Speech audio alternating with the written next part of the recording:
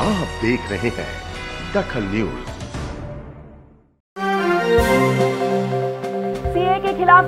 की संविधान बचाओ, न्याय, शांति यात्रा। कमलनाथ ने कहा एमपी में ये कानून नहीं होगा लागू। कांग्रेस के प्रदर्शन में आए लोगों को नहीं पता था क्या है सीएए किसी ने इसे कर्ज माफ़ी तो किसी ने यूरिया से जोड़ा। प्रधानमंत्री नरेंद्र मोदी ने अटल भूजल योजना शुरू की। मध्य प्रदेश सहित सात राज्यों को मिलेगा फ़ायदा। छत्तीसगढ़ नगरीय निकाय चुनाव में कांग्रेस रही आगे, बीजेपी को फिर लगा तगड़ा झटका। और एमसीयू में नहीं थम रहा विवादों का सिलसिला, अब एचओडी पर छात्रा ने लगाए अभद्रता और प्रताड़ना के आरोप। नमस्कार, मैं हूँ शेफाली आप देख रहे हैं दखल न्यूज़, खबरें विस्तार से। मध्य प्रदेश में कांग्रेस ने सीए के खिलाफ संविधान बचाओ न्याय शांति यात्रा निकाली। मध्य प्रदेश के मुख्यमंत्री और पीसीसी चीफ कमलनाथ भी इस शांति मार्च में शामिल हुए और केंद्र सरकार के इस कानून का विरोध किया। मुख्यमंत्री कमलनाथ ने कहा कि भाजपा जनता का ध्यान मोड़ने की राजनीति करती है। आज हमने जो शांति मार्च किया है, वह सिर्फ़ भोपाल और प्रदेश के लिए नहीं, यह देश के लिए है। ऐसा कोई कानून मध्य प्रदेश में लागू नहीं होगा। कांग्रेस के संविधान बचाओ न्याय शांति यात्रा के मद्देनजर दो दिन पहले ही प्रशासन ने भोपाल से धारा 144 हटा दी थी। इसके बाद कांग्रेस ने सीएए और एनआरसी के खिलाफ संविधान बचाओ न्याय शांति यात्रा निकाली। इस यात्रा में कांग्रेस के कई दिग्गज नेता शामिल हुए। भोपाल के रंगमहल इलाके से मिंटो हॉल तक यह यात्रा निकाली गई। इस मौके पर प्रदेश कांग्रेस अध्यक्ष और मुख्यमंत्री कमलनाथ ने कहा, हमने जो शांति मार्च किया है, यह सिर्फ़ भोपाल और प्रदेश के लिए नहीं, यह देश के लिए है। आज हम देश के दिल से यह संदेश देना चाहते हैं कि किस तरह केंद्र सरकार देश को तोड़ना चाह रही है। उन्होंने कहा कि प्रश्न ये नहीं है कि कानून में क्या लिखा है। प्रश्न ये है कि इसमें क्या नहीं लिखा। प्रश्न यह नहीं है कि इसका क्या उपयोग होगा। प्रश्न ये है कि इसका क्या दुरुपयोग होगा। हम सब क्या अनपढ़ हैं? क्या मोदी जी और अमित शाह जी कहते हम अनपढ़ हैं? हम पढ़ना नहीं जानते। हमने पढ़ लिया। हम उनकी नियत हम उनकी नीयत समझते हैं। जैसे मैंने कहा कि प्रश्न नहीं है कि इसमें क्या लिखा है इसमें क्या नहीं लिखा है। प्रश्न नहीं है कि इसका क्या उपयोग होगा इसका क्या दुरुपयोग होगा। ये आज हमारे सामने प्रश्न है। और इस प्रकार का कानून लाना इस प्रकार का कानून लाना मैं तो सब पत्रकार साथियों से कहूँगा कि अगली दफ़ा आप यहाँ बैठेंगे मैं पूछूँगा कहाँ के नागरिक हैं कोई सबूत है? आप सबूत लाइएगा अपने परिवार बाप दादाओं का सबूत लाइएगा। तो ये जो आज इसकी सफ़ाई देना चाह रहे हैं, ये तरह तरह की बातें कर रहे हैं। आज जनता को गुमराह करने का ये पूरा प्रयास है। कमलनाथ ने कांग्रेस कार्यकर्ताओं को संबोधित करते हुए कहा, इनके गृह राज्य मंत्री ने संसद में कहा है कि एनआरसी पूरे देश में लागू होगा। जो कानून, संविधान विरोधी, देश विरोधी, धर्म विरोधी हो, ऐसा कोई भी कानून मध्य प्रदेश में लागू नहीं होगा। एनआरसी और सीए का अंदरूनी लक्ष्य कुछ और है। सीएम कमलनाथ ने कहा कि हमें देश की संविधान और संस्कृति की रक्षा करनी है। इस यात्रा के दौरान बड़ी संख्या में सरकार के मंत्री और बड़ी संख्या में कांग्रेस कार्यकर्ता शामिल हुए। कांग्रेस नेताओं ने कहा कि लोकतंत्र की रक्षा करने के लिए हमें सड़क पर उतरना पड़ा है। इंदौर में भी शांति मार्च निकाला गया जिसमें बड़ी संख्या में कांग्रेस नेता शामिल हुए। संविधान बचाओ न्याय शांति यात्रा निकाल रहे कांग्रेस नेताओं का कहना था कि ये कांग्रेस के नेता सड़कों पर नहीं उतरे हैं। ये देश की जनता है जो लोकतंत्र और देश की एकता के लिए इस प्रदर्शन में शामिल हुई है। नागरिकता संशोधन बिल को लेकर कांग्रेस सरकार ने आज भोपाल में सद्भावना विरोध निकाला। आज हम बात करते हैं कुछ लोगों से किस बात का विरोध है? नागरिकता को लेकर कानून जो बनाया गया है, निश्चित तौर पर ये आम जनता के साथ में विश्वासघात है। इस देश की आज़ादी में जिन महान सपूतों की बलिदान और त्याग के कारण हमको आज़ादी मिली, उन लोगों के द्वारा जो संविधान बनाया गया, बाबा साहब भीमराव अंबेडकर ने जो संविधान में रचना की, निश्चित तौर पर उसमें सभी जाति, सभी धर्म, सभी सदवा सांप्रदायिक लोगों के लिए सजावट करने का काम किया प्रधानमंत्री मोदी हटा रहे हैं। प्रधानमंत्री मोदी जी ने बोला नागरिकता संशोधन बिल नागरिकता देने का कानून है। नागरिकता लेने का कानून नहीं है। उसमें उनने हिंदू की बात की है उनने ईसाई की बात की है उनने अन्य लोगों की बात की है मुस्लिम भाइयों की बात नहीं की। क्या वो इस देश के नागरिक नहीं है? और निश्चित तौर पर आप ये मानिएगा कि जब वो ये कह रहे हैं कि हम सब लोगों को साथ रखना चाहते हैं तो माला में विभिन्न प्रकार के जो फूल हैं विभिन्न प्रकार के रंग के जो फ्लावर हैं निश्चित तौर पर सबको सजा के रखना पड़ेगा। अगर देश को सबल और सक्षम बनाना है तो। और अगर आपको तोड़फोड़ करने का काम करना है जो शुरू से आपने किया है तो एक अलग चीज़ है उसको जनता बर्दाश्त नहीं करेगी। जो हिंसक प्रदर्शन हुए हैं आसपास बंगाल में भी देखने को मिला यूपी में भी देखने को लगा इस संशोधन बिल के विरोध में उसमें आप क्या बोलना चाहेंगे? उसमें भारतीय जनता पार्टी के लोग पकड़ में आए हैं। भारतीय जनता पार्टी के लोगों ने अपनी वेशभूषा चेंज करके और जो उपद्रव किए हैं, निश्चित तौर पर जब उनको पकड़ा पुलिस ने तो उजागर हुए हैं कि भारतीय जनता पार्टी वाले ही आग लगा रहे हैं, भारतीय जनता पार्टी वाले ही उदम कर रहे हैं और वही विद्रोह कर रहे हैं। सिर्फ़ इसलिए कि हिंदू मुस्लिमों के बीच में दरार हो और उनको स्वार्थ सिद्धि की पूर्ति हो। तो नेताजी का साफ़ कहना है कि ये हिंदू मुस्लिम की एकता को तोड़ने वाला कानून है, जिसके विरोध में ये प्रदर्शन किया जा रहा है। कैमरामैन तरुण यादव के साथ सत्यम शर्मा, दखल न्यूज़ भोपाल। नागरिकता संशोधन कानून के विरोध में कांग्रेस पार्टी ने भोपाल में शांति मार्च निकाला। विरोध में शामिल होने आए लोगों ने अपनी अलग अलग प्रतिक्रियाएँ दी। प्रदर्शनकारियों से जब नागरिक संशोधन कानून के बारे में पूछा गया तो उनको इस कानून के बारे में जानकारी ही नहीं थी। प्रदर्शनकारियों ने कहीं यूरिया तो कहीं किसान कर्ज माफ़ी को लेकर विरोध बताया। कुछ प्रदर्शनकारियों ने तो इस कानून को देश हित में ही बताया है। कांग्रेस द्वारा भोपाल में नागरिक संशोधन कानून को लेकर विरोध प्रदर्शन किया गया, जिसमें भोपाल सहित अन्य प्रदेशों के लोगों ने भाग लिया। प्रदर्शनकारियों से जब नागरिकता संशोधन कानून और एनआरसी के बारे में पूछा गया तो उन्हें इस कानून का पता ही नहीं था। प्रदर्शनकारियों ने बताया कि वो पार्टी की रैली में शामिल होने आए हैं। प्रदर्शनकारियों ने प्रधानमंत्री मोदी को लेकर कहा, उनको कोई खतरा नहीं है। मोदी अच्छा कार्य कर रहे हैं और यह बिल भी अच्छा है। प्रदर्शन में शामिल हुए किसानों ने कहा कि उनको यूरिया नहीं मिल रहा इसीलिए वो प्रदर्शन कर रहे हैं। नागरिकता संशोधन कानून के विरोध में आज कांग्रेस ने रैली निकाली। आइए हम बात करते हैं कुछ लोगों से। आप कहाँ से आए हैं? राजगढ़ ज़िले से आए हैं। किस बात को लेकर आए वो तो इसी बात को लेकर आए हैं। कौन सा संशोधन बिल? नागरिक नागरिक क्या है ये? संशोधित बिल। क्या है इसमें? क्या है? किस किसमें विरोध किस चीज़ का है? इस पे विरोध इस चीज़ का है सभी लोगों को देश के विषय में जो चल रहा है आंदोलन इसी विषय में है। तो किस विषय में आंदोलन चल रहा है वही तो ये नागरोधित नागरोधित आप बताइए किस किस विषय में ये सही चल रही है हम व्यवस्था में मतलब खाद नहीं मिल पा रहा हमें। मतलब रुकावट लग रही उसे अच्छा उस विरोध में है? हाँ। और ये जो संविधान रक्षा के संविधान कैसे खतरे में आ गया? वो सर तो पार्टी क्या है कि मतलब खतरे में इसलिए आ गया कि हमें खाद नहीं मिल रहा है वो कर्ज माफ़ी नहीं हो रही है। और इसके लिए हम मतलब ये हटाने चाहते हैं। तो कर्ज माफ़ी क्यों नहीं हो रही है आपकी? वो कर्ज माफ़ी इसलिए नहीं हो रही कि वो आगे से बजट नहीं आ रहा है इसलिए कर्ज माफ़ी नहीं हो पा रही। कहाँ से आए ये हमने काला पीपल से। तो आप किस लिए आए हैं? ये ये ये देखने के लिए आए थे क्या? क्या कहते हैं? यार अब भूल गए पता नहीं। अच्छा। ये बताइए। कौन ने बोला कांग्रेस ने? हाँ कांग्रेस ने।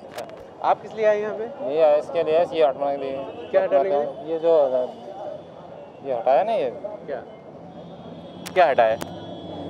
ये जो अपना एनआरसी? हाँ एनआरसी नहीं है। एनआरसी है क्या? अभी क्या ये एनआरसी है जो अपने ये नागरिकता और ये है इसके लिए आए थे। सब आए थे सब सब लोग के साथ आए थे। अच्छा सब लोग के साथ आए। तो बुलाया गया था? बुलाया था यहाँ से सभी को इसलिए या नागरिकता संशोधन बिल के विरोध में है? मोदी जी के विरोध में मोदी जी के विरोध में नहीं पार्टी थी रेल रैली थी बस उसमें आ गए गाड़ी लगाई थी। इस नुकसान क्या है? हाँ किसने सही है वो तो। नहीं है वो तो नुकसान नहीं है। मोदी जी को कोई नुकसान नहीं इससे। हाँ। कुछ नहीं फ़र्क देश को नुकसान है नहीं नहीं हाँ इससे तो ये तो पड़ सकता है। तो एनआरसी है क्या ये? क्या है तो अच्छा ही है वो तो। समझो तो। इसके लिए सभी के लिए पब्लिक के लिए। समझने के लिए सभी का अच्छा लिए हो तो करने के लिए। और सभी सुविधा अच्छी है सभी सरकार बहुत बढ़िया है एक नंबर कोई दिक्कत नहीं। मोदी जी बढ़िया है। मोदी मने अच्छा है। हाँ बहुत एक नंबर है मोदी जी भी। उसको मानते हैं हम उनको कदर करते हैं। वो इतनी शासन चलाते हैं। अभी हम आए कमलनाथ जी के सरकार में तो हमें मिले ही नहीं यहाँ। गाड़ी जी भेजिए। किसान लोग तो है हम कर्जा माफ़ हुआ आपका? हाँ? कर्जा माफ़ चल गया सर हमारी निकल गई हो गया? नहीं अभी हुआ नहीं। अभी नहीं हुआ अभी खाली घोषणा करी है पर अभी हुआ घोषणा करिए। आप किस बात का विरोध कर रहे हैं? ये तख्ती लेके रखे हैं। ये बता दो कितने पैसे लेके आए ये बात। प्रधानमंत्री नरेंद्र मोदी ने अटल भूजल योजना शुरू की। इससे मध्य प्रदेश सहित सात राज्यों के 78 जिलों के 8,350 गाँव को सीधा लाभ मिलेगा। इस योजना में 6,000 करोड़ रुपए खर्च किए जाएँगे। प्रधानमंत्री नरेंद्र मोदी ने दिल्ली के विज्ञान भवन में आयोजित कार्यक्रम में अटल भूजल योजना की शुरुआत की। एक दिन पहले ही पीएम मोदी की अध्यक्षता में हुई। केंद्रीय कैबिनेट ने 6,000 करोड़ रुपए की इस योजना को मंजूरी दे दी। इस योजना का उद्देश्य ग्रामीण क्षेत्र में भूजल प्रबंधन को बढ़ावा देना है। कुल मिलाकर सात राज्यों के 8,350 गाँवों को इसका लाभ मिलेगा। इन राज्यों में उत्तर प्रदेश मध्य प्रदेश हरियाणा गुजरात महाराष्ट्र राजस्थान और कर्नाटक शामिल हैं। साथ ही इससे किसानों की आमदनी दोगुनी करने के भी मदद करेगी। अटल भूजल योजना पाँच साल के लिए है। इसी कार्यक्रम में पीएम मोदी ने ऐलान किया कि रोहतांग दर्रे के नीचे बनने वाली स्मारक महत्व की सुरंग को पूर्व प्रधानमंत्री अटल बिहारी वाजपेयी के नाम पर किया गया है। इस सुरंग को बनाने का निर्णय 3 जून 2000 को लिया गया था, तब वाजपेयी प्रधानमंत्री थे। का विषय अटल जी के लिए बहुत महत्वपूर्ण था। पानी को लेकर के बहुत बड़ी योजना को आकार दिया गया था। लेकिन बाद में अटल जी की सरकार नहीं रही। और पानी की योजना ही बह गई। हमने पिछले सरकार के दरमियान पे इस पर बल दिया और अब एक मिशन मोड में इस काम को आगे बढ़ाने का तय किया है। पानी को लेकर के अटल जी का जो विजन था, वो विजन आज भी हमें प्रेरणा देता है। सरकार का उद्देश्य 2020-21 से 2024-25 तक गाँव में भूजल का प्रबंधन करना है। 6000 करोड़ की इस योजना की आधी रकम वर्ल्ड बैंक से कर्ज के रूप में होगी। जिसे केंद्र सरकार अदा करेगी। शेष आधी राशि सामान्य बजट में केंद्र मदद के तौर पर उपलब्ध कराई जाएगी।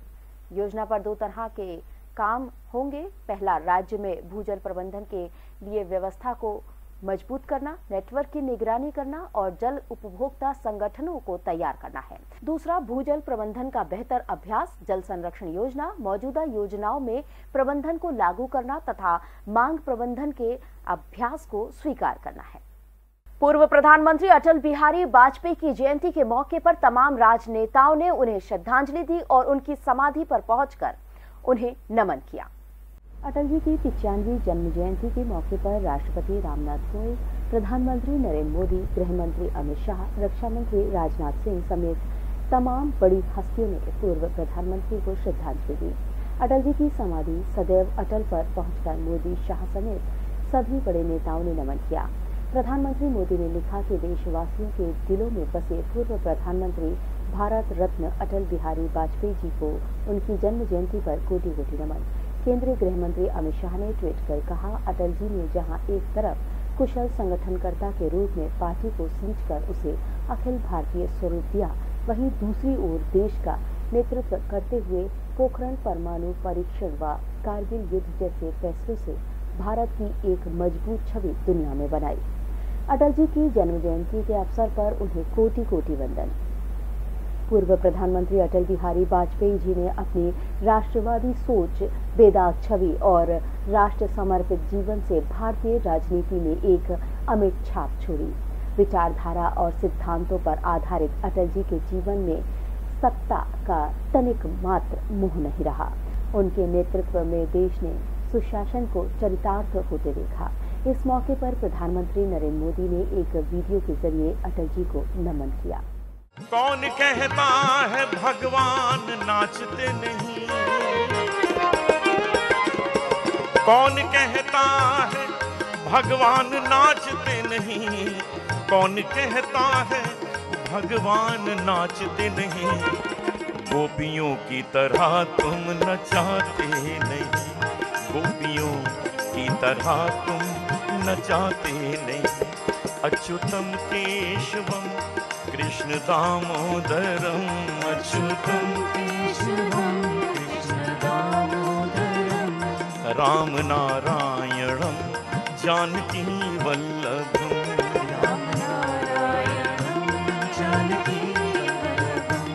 राम नारायणं जानकी वल्लभम।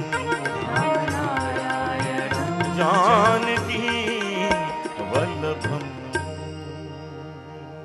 झारखंड विधानसभा चुनाव में शानदार प्रदर्शन करने के बाद झारखंड मुक्ति मोर्चा ने हेमंत सोरेन को विधायक दल का नेता चुन लिया है। अब सोरेन 29 दिसंबर को मुख्यमंत्री पद की शपथ लेंगे। समारोह रांची के मोरहाबादी मैदान में होगा। हेमंत सोरेन के शपथ समारोह में कई दिग्गज राजनेताओं के मौजूद रहने की संभावना है, बताया जा रहा है। समारोह में कांग्रेस की कार्यकारी अध्यक्ष सोनिया गांधी और राहुल गांधी भी भाग लेंगे। प्रधानमंत्री नरेंद्र मोदी को भी शपथ समारोह का न्योता दिया जा रहा है। इससे पहले मंगलवार को हेमंत सोरेन ने 50 विधायकों का समर्थन पत्र, राजभवन जाकर राज्यपाल द्रौपदी मुर्मू को सौंपा। इस मौके पर उनके सात विधायकों के अलावा झामुमो प्रमुख शिबू सोरेन, कांग्रेस पर्यवेक्षक टी एस सिंहदेव, प्रदेश कांग्रेस प्रभारी आरपीएन सिंह सह प्रभारी उमंग सिंघार, कांग्रेस नेता अजय शर्मा भी मौजूद थे। इससे पहले झारखंड मुक्ति मोर्चा विधायक दल की बैठक में हेमंत सोरेन को नेता चुनने की घोषणा की गई। झामुमो प्रमुख शिबू सोरेन के आवास पर हुई इस बैठक में दल के सारे तीस विधायक मौजूद थे। हेमंत सोरेन मंत्रिमंडल में, झामुमो कोटे से पाँच, कांग्रेस से पाँच और राजद से एक मंत्री के शामिल होने की संभावना है। माखनलाल चतुर्वेदी पत्रकारिता विश्वविद्यालय में कॉन्ट्रैक्ट प्रोफेसरों के जाति कांड का विवाद थमा ही नहीं था कि एक और विवाद सामने आया। जनसंचार विभाग के एचओडी संजीव गुप्ता पर एक छात्रा ने अभद्रता और प्रताड़ना का आरोप लगाया है। एमसीयू के गेट पर बैठी छात्राएँ बोली, एचओडी हमसे बॉयफ्रेंड का नाम पूछते हैं। रोज के इन विवादों से एमसीयू की छवि धूमिल हो रही है। माखनलाल चतुर्वेदी राष्ट्रीय पत्रकारिता विश्वविद्यालय के मुख्य द्वार पर दो छात्राओं ने मंगलवार रात पहुंचकर धरना दिया। पहले तो छात्राओं ने पत्रकारिता विश्वविद्यालय प्रबंधन को जमकर कोसा, फिर वे सड़क पर ही धरने पर बैठ गई। छात्राओं से मिलने पहुँचे रेक्टर श्रीकांत सिंह से छात्राओं ने कहा कि उनके जनसंचार विभाग के एचओडी संजीव गुप्ता उनसे बॉयफ्रेंड का नाम पूछते हैं। साथ ही उनकी कक्षाओं में उपस्थिति कम बताते हुए परीक्षा में बैठाने से भी इनकार कर दिया है। छात्राओं ने बताया कि वे पत्रकारिता विश्वविद्यालय में मास कम्युनिकेशन में सेकेंड ईयर की छात्र हैं। वे तबियत खराब होने की वजह से कक्षा में शामिल नहीं हो सकी थी। उनकी शनिवार से परीक्षाएँ शुरू हुई हैं। परीक्षा से पहले उन्होंने पिता के साथ कुलपति से मुलाकात कर सारी स्थिति से अवगत कराया था। इसके बावजूद उन्हें परीक्षा में शामिल नहीं होने दिया जा रहा है। सर के पास गए मेडिकल और एप्लीकेशन लेकर हमने सर को बोला कि सर हम बीमारी के कारण नहीं आ पाए थे हमारे पास मेडिकल है। तो आप बताइए कि हमारा रीएडमिशन कैसे होगा? मतलब हम कहाँ पे हमारी एप्लीकेशन सबमिट करें? तो एच सर का ये कहना था कि श्रेया पांडे, तुम्हारी ज़ीरो परसेंट अटेंडेंस पे मैं तुमको तो एक्सेप्ट कर लूँगा। तुम्हारा मेडिकल एक्सेप्ट कर लूँगा, पर मनु, तुम्हारी ज़ीरो परसेंट अटेंडेंस पे मैं तुम्हारा एक्सेप्ट नहीं करूँगा। तुम अपनी सोर्स लगाओ, तुम एक काम करो, तुम यहाँ वहाँ जाओ और वहाँ जाके अपील करो। और वहाँ से अगर कोई सुनवाई हो जाए तुम्हारी तो मुझे बताना। उसके बाद उन्होंने ये भी बोला मुझे कि मैं तुम्हारे ऊपर एफआईआर पहले तो बोलते हैं कि एक काम करो, अगर तुम्हें मेरे इस डिसीज़न से कोई दिक्कत है तो तुम मुझे कोर्ट कचहरी ले जाओ। और अगर नहीं तुम ले जाती हो तो मैं तुम्हारे ऊपर एफआईआर करके तुम जेल में बंद करा दूँगा और तुम्हारे ऊपर केस कर दूँगा। संजीव गुप्ता, सर। छात्राओं ने रेक्टर के सामने आरोप लगाया कि कुछ छात्र छात्राओं की उपस्थिति उनसे भी कम है। इसके बावजूद उन्हें परीक्षा में शामिल कर लिया गया है। छात्राओं ने बताया कि पहले तो सभी कम उपस्थिति वाले छात्र छात्राओं को निष्कासित कर दिया गया था। बाद में नोटिस जारी किया कि पाँच सौ जमा कर वे परीक्षा में शामिल हो सकते हैं। इस नोटिस के आधार पर जब हमने एचओडी से मुलाकात की तो उन्होंने कहा कि एक छात्रा परीक्षा में शामिल हो सकती है, लेकिन दूसरी को चरित्रहीन और शैतान बताकर परीक्षा दिलवाने से इनकार कर दिया। छात्राएँ रात में एमपी नगर थाने भी पहुँची। वहाँ पहुंचकर उन्होंने अपने ही डिपार्टमेंट के एचओडी संजीव गुप्ता के खिलाफ आपत्तिजनक शब्दों का प्रयोग करने को लेकर शिकायत की। इसके बाद वे वापस आकर धरने पर बैठ गई।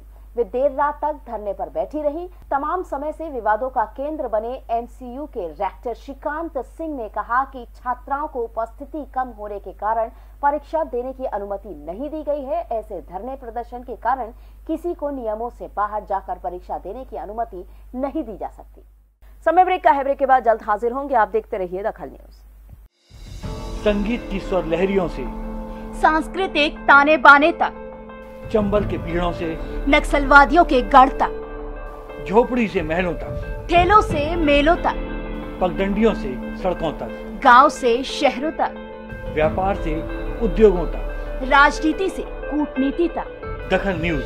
आपके हक। ब्रेक के बाद आपका स्वागत है। नगरीय निकाय चुनाव में सत्तारूढ़ कांग्रेस को बड़ी सफलता मिली है। वोटरों ने विधानसभा चुनाव की तर्ज पर कांग्रेस के पक्ष में जमकर मतदान किया। प्रदेश के एक सौ इक्यावन निकायों के 2,840 पार्षद पद के चुनाव में कांग्रेस ने एक वार्डों में जीत दर्ज की है। वहीं भाजपा को 1,131 वार्डों में जीत मिली है। राज्य निर्वाचन आयोग के अनुसार प्रदेश में 36 पार्षद जनता कांग्रेस छत्तीसगढ़ और तीन निर्दलीय पार्षद विजयी हुए हैं।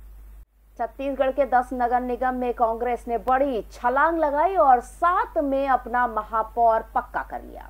राजनांदगांव, धमतरी और कोरबा में पेच फंसा है। यहाँ निर्दलीय पार्षद निर्णायक भूमिका में हैं।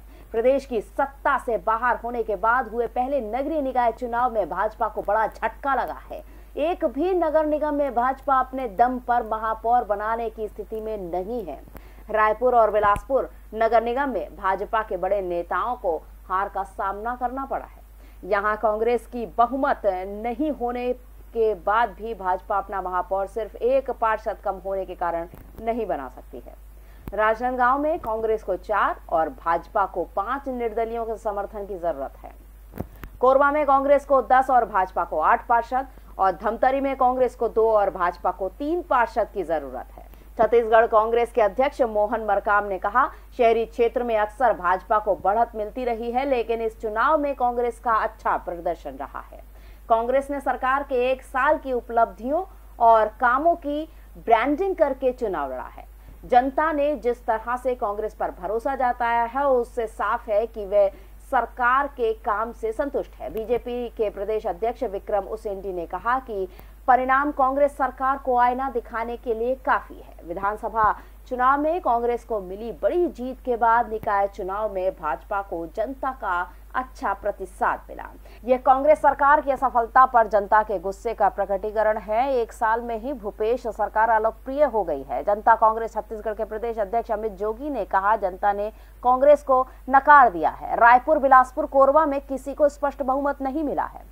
निर्दलियों की खरीद फरोख्त कर भले ही कांग्रेस इन निकायों में अपना महापौर बना ले, लेकिन यह स्पष्ट है कि जनता ने एक साल के कांग्रेस सरकार के कामकाज को खारिज कर दिया है। मध्य प्रदेश में बिजली के दाम जनवरी से कुछ कम होने की उम्मीद है। तिमाही में तय होने वाला फ्यूल कास्ट एडजस्टमेंट बिजली कंपनी सत्रह पैसे प्रति यूनिट घटाने जा रही है, जिसका सीधा लाभ बिजली उपभोक्ताओं को मिलेगा। बिजली सस्ती होगी जबलपुर मध्य प्रदेश में बिजली कंपनी तिमाही में तय होने वाला फ्यूल कास्ट एडजस्टमेंट घटाने जा रही है। घरेलू उपभोक्ता से अभी 30 पैसे प्रति यूनिट एफसीए वसूला जाता है, जो कंपनी अब 13 पैसे प्रति यूनिट करना चाह रही है। यही, यानी 17 पैसे प्रति यूनिट की बचत होगी।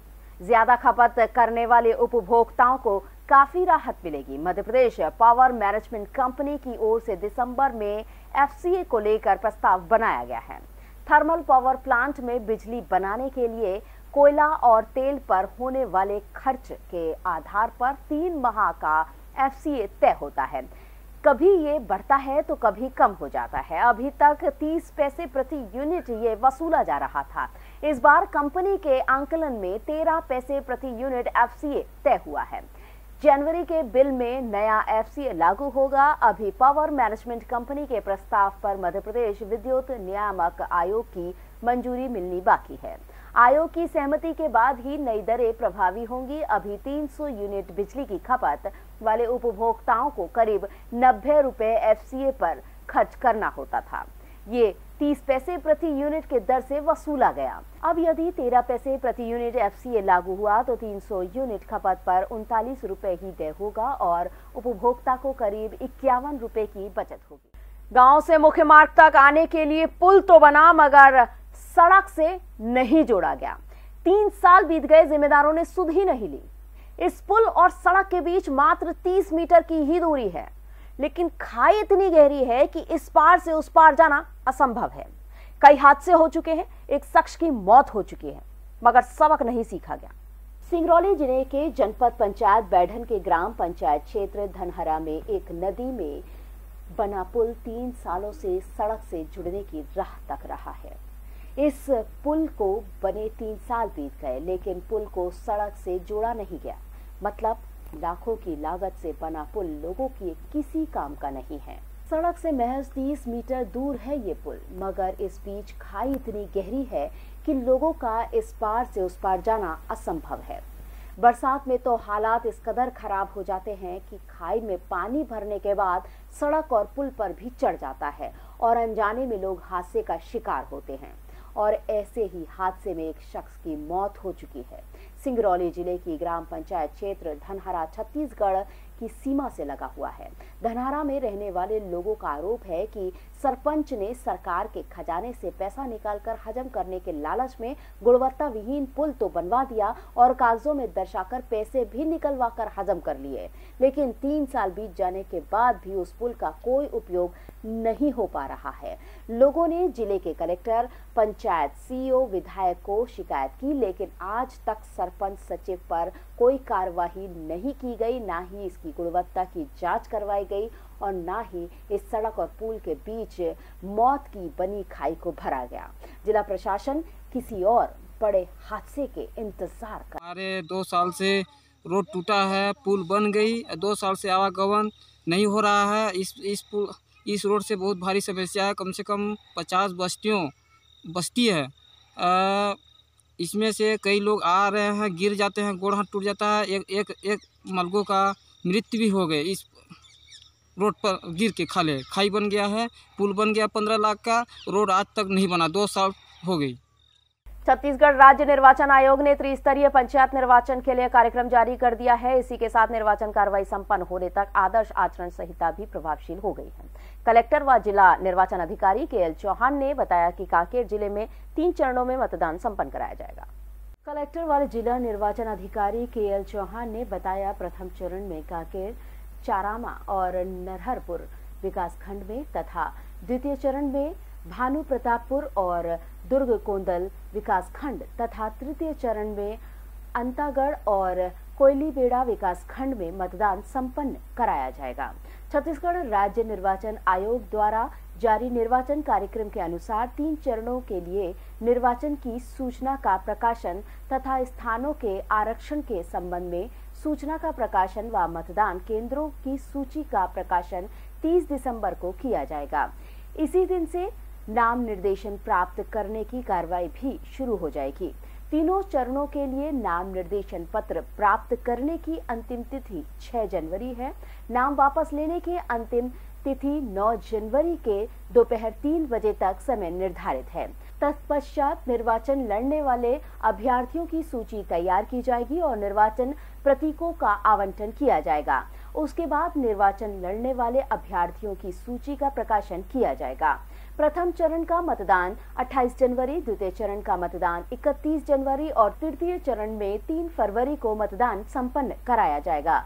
मतदान केंद्रों में मतदान तिथि को ही मतगणना की जाएगी तथा यदि आवश्यक हो तो विकासखंड मुख्यालय पर प्रथम चरण के लिए 29 जनवरी दिन बुधवार, द्वितीय चरण के लिए 1 फरवरी, दिन शनिवार और तृतीय चरण के लिए 4 फरवरी, मंगलवार को मतगणना संपन्न कराई जाएगी। भोपाल जिला प्रशासन ने भूमाफिया एवं आपराधी प्रवृत्ति के लोगों के अवैध कब्जे हटाने की मुहिम शुरू कर दी है। इस अभियान के तहत बैरागढ़ में इमरान सटोरिये के मकान को तोड़ दिया गया है। ग्राम बेहटा के पास ऐतिहासिक टेकरी के पीछे सरकारी ज़मीन पर बनी डेयरी को भी जेसीबी मशीन से ध्वस्त किया गया है। इमरान सटोरिये का मकान तोड़े जाने से लोग खुश नज़र आए। बैरागढ़ में एसडीएम मनोज उपाध्याय एवं एसडीओपी दीपक नायक की अगुवाई में पुलिस प्रशासन का दल ग्राम बेहटा पहुँचा। यहाँ राजेंद्र मेवाड़ा की डेयरी को हटाया गया। अमला पहुँचते ही इलाके में हड़कंप मच गया। नगर निगम की जेसीबी से एक घंटे में ही डेयरी को जमींदोज कर दिया गया। हालाँकि पास में सरकारी ज़मीन पर बनी झोंपड़ियों और पक्के मकानों को छोड़ दिया गया। एसडीएम उपाध्याय ने बताया कि फ़िलहाल माफिया एवं अपराधियों की ओर से किए गए कब्जे हटाए जा रहे हैं। दूसरे चरण में टेकरी को भी अतिक्रमण मुक्त किया जाएगा। राजधानी मेवाड़ा के द्वारा लगभग चार पाँच हज़ार स्क्वायर फीट में कब्जा करके और निर्माण कार्य कर लिया गया था। उसको झुग्गी माफिया के रूप में जाना जाता है। तो इसलिए उसका निर्माण कार्य तोड़ा गया है और इमरान जो सटोरिया है, सट्टा खिलाता है, उसका मकान आपको चिन्हित किया जो आप देख रहे हैं मेरे पीछे टूट रहा है। वो इमरान का मकान है, इमरान सट्टेबाज है और उसके ऊपर अन्य अनेक अपराध हैं। पुलिस की मौजूदगी में साधु वासवानी कॉलेज रोड पर इमरान सटोरिया के मकान का बड़ा हिस्सा घन एवं हथौड़ों की मदद से तोड़ दिया गया। थाना प्रभारी शिवपाल कुशवाहा के अनुसार इमरान इसी मकान से सट्टे की पर्चियाँ लिखता था। इसका पिछले दिनों एक सोशल मीडिया पर वीडियो भी वायरल हुआ था। इसमें खुलेआम सट्टे की पर्चियाँ लिखी जा रही थी। तोड़फोड़ के दौरान इमरान के रिश्तेदार विरोध करने पहुँच गए, लेकिन प्रशासन ने ताला तोड़ने के बाद मकान ध्वस्त कर दिया। बैरागढ़ एवं खजूरी थाना पुलिस ने कुछ अन्य माफिया एवं अपराधियों के घरों को और संपत्तियों को भी चिन्हित किया है। जल्दी उनके खिलाफ भी कार्रवाई की जाएगी। राजेंद्र करते हैं और जिन्होंने इस तरीके से बेटा के पास में जगह कब्जा करके और फिर वो आदमी झुग्गियों को बेचना तरीके की चीज़ थी तो उनके द्वारा जो कब्जा किया गया था, चार से पाँच हज़ार स्क्वायर फीट की जगह थी, वो उनका निर्माण क्रिसमस के त्योहार का जश्न पूरी दुनिया के कई देशों में मनाया जा रहा है। क्रिसमस की तैयारियाँ हफ़्ते भर पहले से शुरू हो गई थी। अब इसका जश्न मनाया जा रहा है। 25 दिसंबर के दिन लोग प्रभु यीशु के जन्म दिवस को मनाते हैं। इस मौके पर देश और दुनिया भर के लोग क्रिसमस ट्री सजाकर अपने दोस्तों को उपहार बांटते हैं। खासकर सांता के रूप में लोग एक दूसरे को गिफ्ट देकर मैरी क्रिसमस बोलते हैं। मध्य प्रदेश और छत्तीसगढ़ में प्रभु यीशु के जन्म दिवस पर विभिन्न चर्चों में विशेष प्रार्थना सभा रखी गई। मध्य प्रदेश और छत्तीसगढ़ के मुख्यमंत्री ने भी अपने अपने प्रदेश के वासियों को क्रिसमस की बधाई दी। 25 दिसंबर के दिन लोग प्रभु यीशु के जन्म दिवस को मनाते हैं। बाजारों में रौनक होती है और ईसाई समाज के लोग खूब शॉपिंग करते हैं। क्रिसमस के साथ ही कई अन्य त्योहार और नए साल के जश्न की वजह से लोगों में खुशी और उत्साह चरम पर होता है। भोपाल के सेंट जोसेफ चर्च में बिशप ने विशेष प्रार्थना की, जिसमें ईसाई समाज के लोग शामिल हुए। रोशनी से नहाए शहर भर के गिरजाघरों में मंगलवार रात को सैकड़ों की संख्या में ईसाई समाज के लोग मौजूद थे। साइलेंट होली नाइट और चरनी में चमका सितारा पैदा हुआ ईशु हमारा, जैसे कैरोल गाए जा रहे थे। सर्द रात में क्रिसमस का उल्लास नज़र आ रहा था। कोई बाइबल का पाठ कर रहा था तो कोई यीशु के जन्म की झांकी को निहार रहा था। इस मौके पर जैसे ही रात 12 बजे प्रभु यीशु के जन्म की घोषणा की गई, लोगों ने एक दूसरे को गले लगाकर मैरी क्रिसमस कहा और उपहार बांटे प्रभु यीशु के जन्म दिवस पर केक भी काटे गए और सभी ने एक दूसरे का मुँह मीठा कराया। Yeah.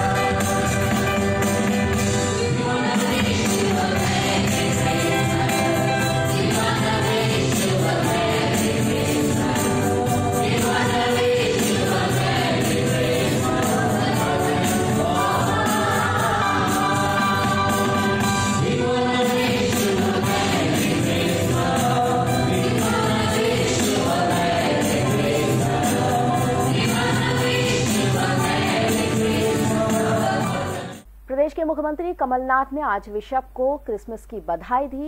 प्रभु यीशु के जन्म दिवस पर प्रदेशवासियों को बधाई दी। बहुत खुशी हुई आज क्रिसमस के दिन। आप सबके बीच में आने की आप सबको मेरी क्रिसमस और क्रिसमस की बहुत बहुत शुभकामनाएँ। क्रिसमस एक ऐसा त्यौहार है जो विश्व के लगभग हर देश में मनाया जाता है।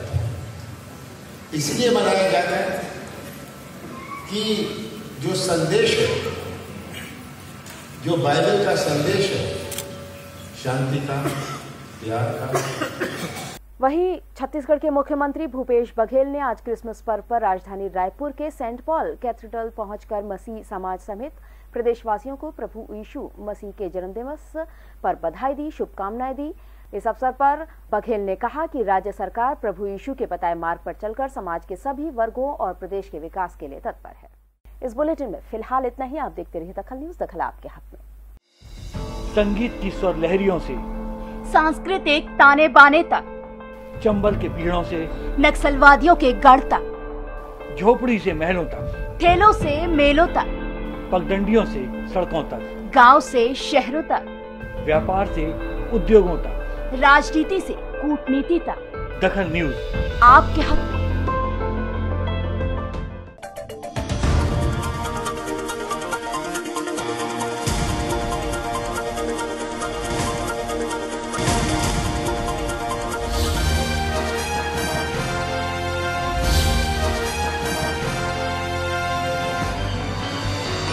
हाँ आप देख रहे हैं दखल न्यूज़।